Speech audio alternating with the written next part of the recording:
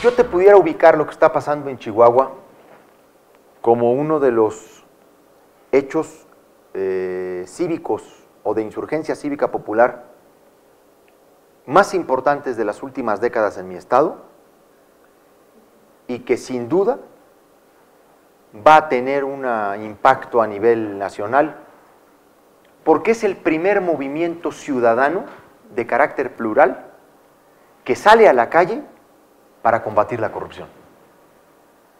Todo el mundo ha salido a la calle en los últimos meses para distintas exigencias. Obviamente, centralmente, justicia en Ayotzinapa.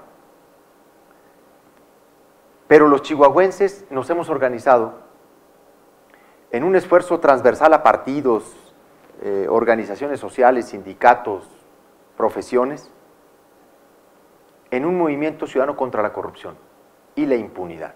¿A partir de qué? Pues a partir de un momento de hartazgo de la sociedad chihuahuense por el escandaloso enriquecimiento inexplicable del gobernador de Chihuahua, César Duarte.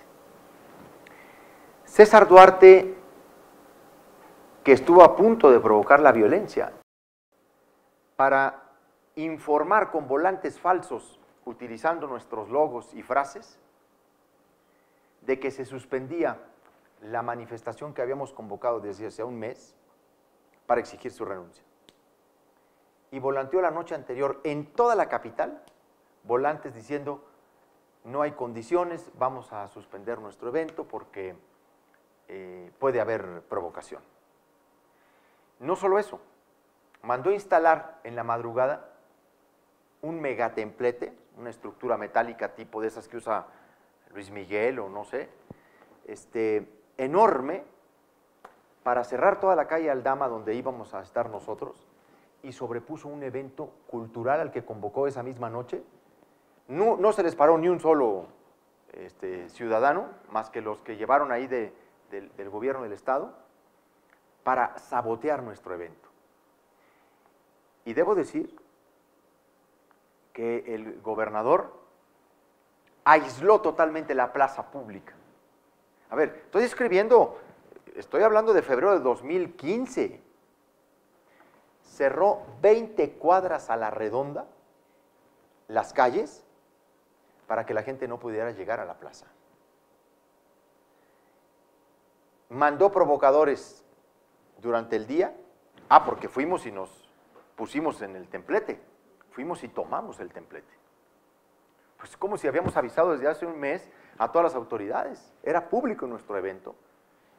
Y mandó provocadores, mandó policías, guaruras, incluso hay un guarura ahí del presidente municipal y hay dos sujetos con antecedentes penales de los que fueron a provocarnos. Ya los tienen plenamente. Ya los tenemos plenamente identificados.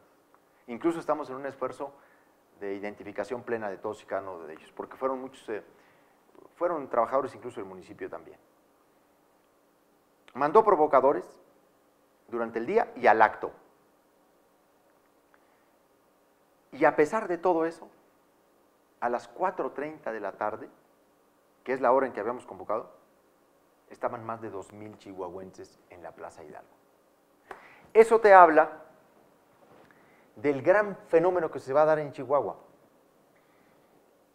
La gente no solo le ha perdido el respeto a Duarte, ya también le perdió el miedo.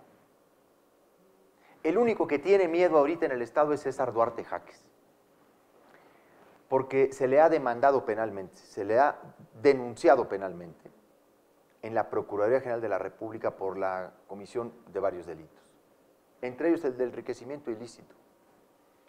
El gobernador de Chihuahua promovió un banco, la creación de un banco a partir de la fusión de varias empresas locales de la ciudad de Licias, casas de cambio, unión de crédito. Gestionó ante la Comisión Nacional Bancaria y de Valores y ante Luis Videgaray, de quien se dice su amigo personal, la creación de un banco, el Banco Progreso. Este banco estuvo siendo fondeado por el gobierno del estado de Chihuahua a través de la Unión de Crédito Progreso, que es la base de la constitución del nuevo banco, a lo largo de tres años. Si sumáramos todo lo que se le, depositó durante tres años, nos daría la suma de 83 mil millones de pesos. Siempre se le ha mantenido un fondo de no menos de 600 millones de pesos al banco diariamente. Pero al gobierno de Chihuahua este banco solo le paga el 3,4% de rendimiento financiero. Cuando a sus ahorradores les ofrece, incluso en carteleras de las que tenemos fotografía, el 7,2%. Y el gobernador, cuando se constituye el banco, forma un fideicomiso con su esposa en Banorte, que es la fiduciaria, y le da la instrucción de depositar en la conformación accionaria del banco 65 millones de pesos que toma de un cheque de caja de una de sus cuentas personales y se hace accionista del banco, del que es accionista también el director de finanzas del gobierno del Estado, el tesorero estatal, el que firmó todos los cheques de transferencia al banco, y otro socio es el presidente de la Junta Central de Aguas y Saneamiento, Carlos Hermosillo, y todos ricos de la noche a la mañana. Pero el tema del banco es solo la punta del iceberg. El banco es uno de los asuntos que hemos podido lograr documentar. Estamos sobre otros temas, porque lo suyo, lo suyo de Duarte son los ranchos. Ha comprado ranchos en el Estado en los últimos años que en ese tiempo récord ya hubiera querido don Luis Terrazas haberlo logrado. Y se convirtió en un ganadero con una capacidad de exportación de ganado increíble, por encima de los grandes ganaderos de Chihuahua, de larga data, de larga tradición en la introducción de ganado a los Estados Unidos.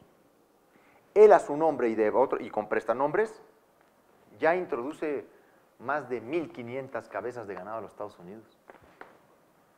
¿Cuánta infraestructura debe tener un ganadero para importar 1.500 cabezas?